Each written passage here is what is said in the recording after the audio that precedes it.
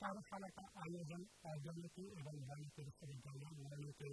College of horticulture के कृषि एवं वानिकी विभाग द्वारा उनके सभागार में किया जा रहा है इस कार्यशाला का मुख्य उद्देश्य पर्यावरण संरक्षण के साथ साथ पारिस्थितिक संतुलन को बनाते हुए किसानों को वनवर्धन तथा चारा और चारागाहों के उन्नत किस्मों के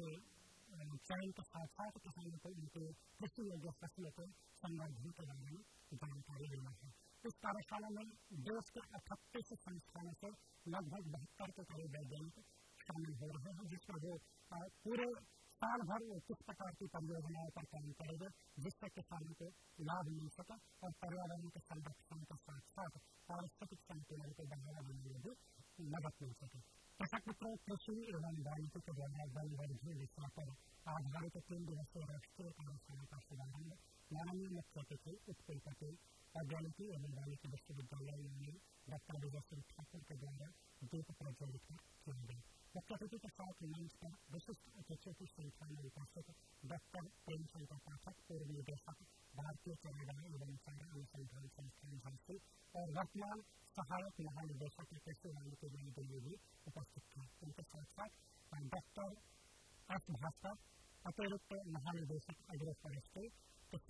डॉक्टर ए पी चतुर्वेदी परियोजना संचालक एवं निदेशक झांसी और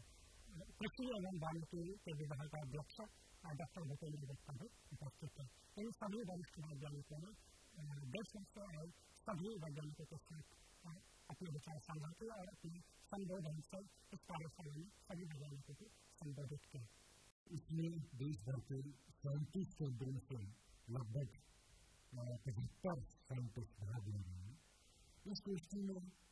इन लोगों ने जो पूरे साल में जो काम किया है जिस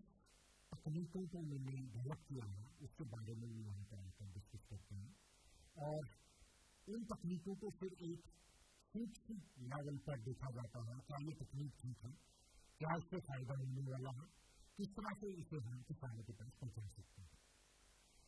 तो इस गोष्ठी में पहले दिन सारे केंद्र अपनी अपने अपने कार्य को पेश करते हैं फिर दूसरे दिन इस गोष्ठी में इन कार्यों की एक सूक्ष्म रूप पर चर्चा होती है जिसमें कि राष्ट्रीय स्तर के डिसीज़न मेकर्स आते हैं वो इन सबको अच्छी तरह से देखते हैं कि भाई उन्होंने क्या काम किया है किस विधि से किया है क्या ये विधि ठीक थी कि नहीं किस तरह से उन्हें किसानों के अनुरूप काम किया है इस कृषि वानिकी का एक फ़ायदा तो ये होता है कि एक ही ज़मीन से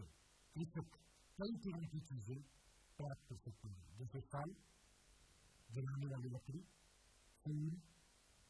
और इसके अलावा ये भी एक बड़ा फ़ायदा रहता है कि जब हम एक ही क्रॉप लगाते हैं और किसी तरह से किसी कारण उसमें कोई बीमारी या कोई रोग लग जाता है खत्म हो जाती है कृषि क्रांति में इस तरह का खतरा बहुत कम होगा तो ये जो यहाँ पर शोध कार्य प्रस्तुत हुए होते हैं, ये सेंट्रल एग्रीकल्चर रिसर्च इंस्टीट्यूट एक राष्ट्रीय स्तर पर डिफरेंट एरियाज़ के लिए। मौसम की वजह डिफरेंट मौसम जहाँ पर जाता है, वहाँ पर उसी तरह का प्रोग्राम बनाता है, इस प्रोग्राम के लिए शोध कार्य किया जाता है। दर्शक मित्रों संगोष्ठी में अपने संबोधन के बाद हमने बातचीत की कृषि एवं वानिकी के वन विभाग के विभागाध्यक्ष डॉक्टर भूपेंद्र गुप्ता से कि औद्योगिकी एवं वानिकी विश्वविद्यालय कृषि एवं वानिकी को बढ़ावा देने के लिए किस प्रकार की गतिविधियाँ कर रहा है और इस संगोष्ठी का उद्देश्य को किस उद्देश्य को लेकर वो आने वाले वक्त में किस प्रकार के शोध अपने विश्वविद्यालय के माध्यम से किसान और वैज्ञानिक को लाभान्वित करने के लिए करने जा रहे हैं बैंक की आज की बदलती जलवायु परिस्थिति में बहुत ही महत्वपूर्ण है, क्योंकि हमारे देश के विभिन्न भागों में वर्षा की कमी सूखा, बाढ़, इन सब की समस्याएँ निरंतर बढ़ती जा रही हैं, बढ़ते जलवायु के कारण कृषि की जो है कम से कम बदलते जलवायु के संदर्भ में एक ऐसा माध्यम है जो कि जलवायु से उत्पन्न हुई विभिन्न परिस्थितियों में अपने आप को सक्षम बनाती है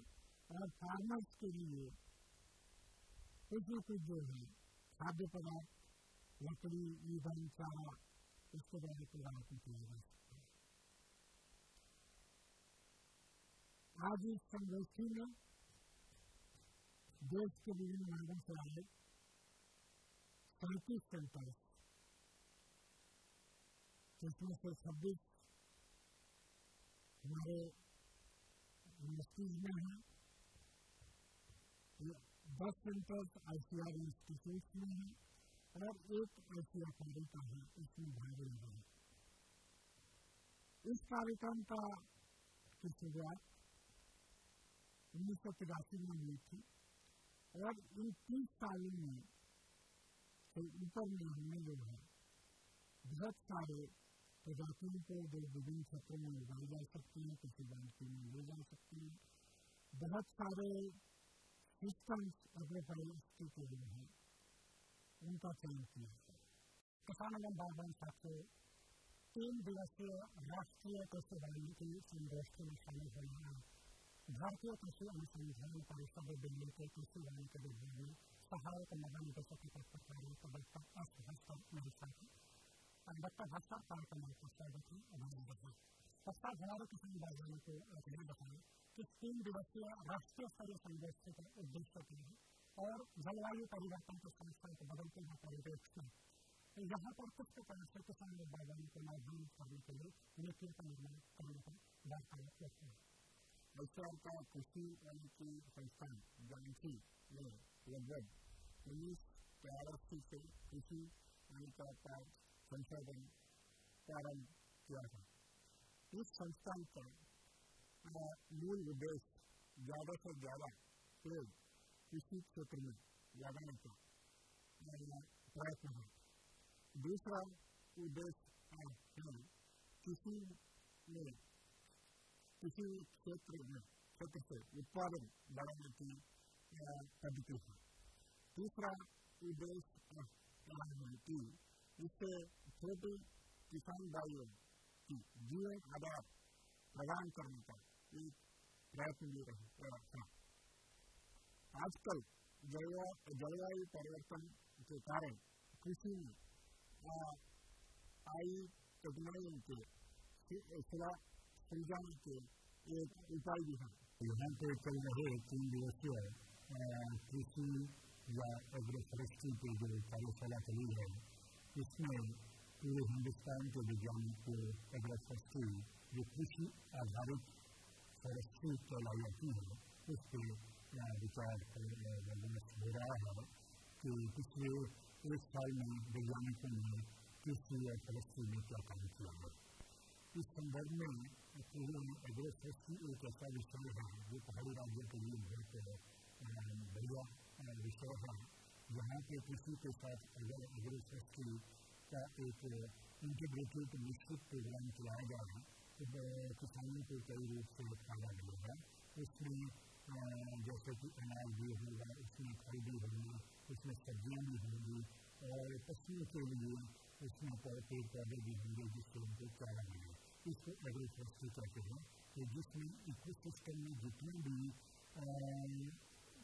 जितने भी पेड़ पेड़ पौधे हैं उस उस किसी फॉरेस्ट के अंदर आ गया वैज्ञानिक आज भी इस पर ऊपर विचार विमर्श कर रहे हैं हमारे वैज्ञानिक भी हैं ये विषय पूरे हिंदुस्तान में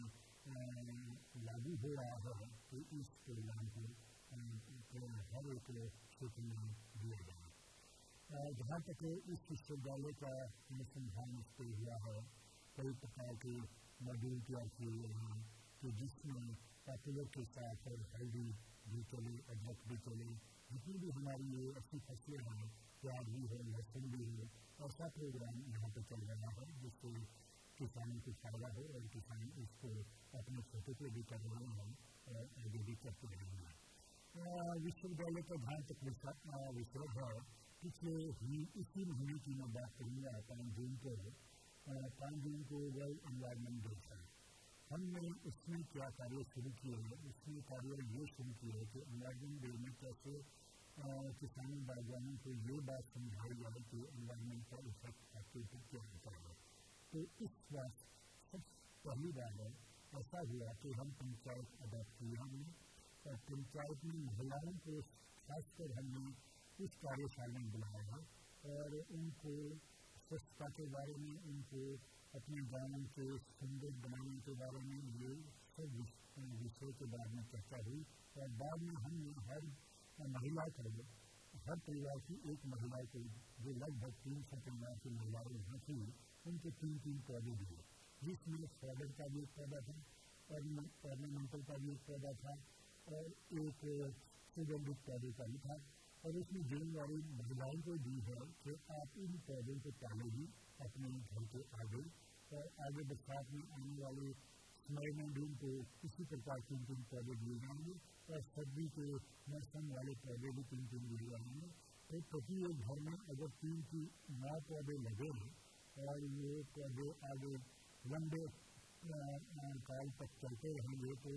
अपने आप ही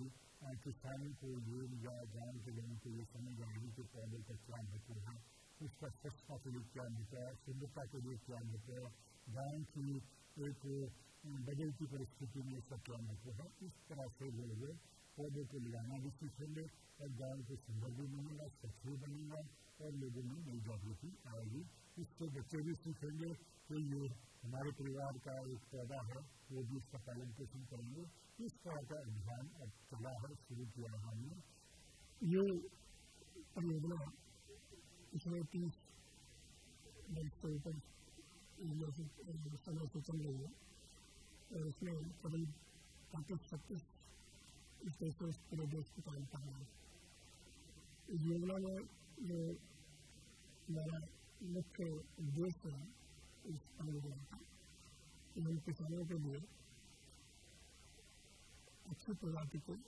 बीज अच्छी प्रजाति के पौधे उनको दे सकें उनको उसके बारे में समझा सकें बता सकें उससे जो हमारा वनों का क्षेत्र है कम होता जा रहा है। उसमें भी सुधार और साथ में किसान उन लगाए हुए पेड़ों से समुचित आमदनी पा सकें इसके लिए हम तीन स्तर पर काम कर रहे हैं पहला है जहाँ जो उनकी गतिविधियाँ हैं जो चल रही हैं किसानों के यहाँ किराए में उनका आचरण करके उनके ये ज़्यादा उपयोगी पेड़ों के बारे में और कृषि पद्धतियों के बारे में उनको जानकारी दें उसका आकलन करके उसका डेटा संबंधित प्रोजेक्ट में हुआ है फिर उनको बदल हैं दूसरा कारण है कि जो तरह तरह के पेड़ हैं जिनसे लकड़ी चारा ईंधन और किराना आवश्यकताएँ पूरी होती है उनके बारे में जानकारी जो है उनको दी जा सके और उनके लिए अच्छे अच्छे तैयार करके उनको दिया जा सके तीसरा है कि इन सिस्टम्स को इन पद्धतियों की जो इकोनॉमिक इम्पोर्टेंस है वो उसके बारे में हम उनको समझा सकते और इन सभी चीज़ों से जो पर्यावरणीय संतुलन है इसको कायम करने के लिए इस दिशा में सबका सहयोग दिया जा सके जिससे देश में पर्यावरण संतुलन और जो रिसोर्स है वो जनरेट हो एवं बागवान साथियों आज के कार्यक्रम में हमने आपको तीन दिवसीय राष्ट्रीय कार्यशाला कृषि एवं वाल्मीकि के द्वारा बलिबंधन विषय पर प्रथम दिवस की गतिविधियों के बारे में जानकारी दी इसी के साथ आज के अंक को यही पर संपन्न करने के सभी से अनुमति चाहेंगे अनुमति दीजिए नमस्कार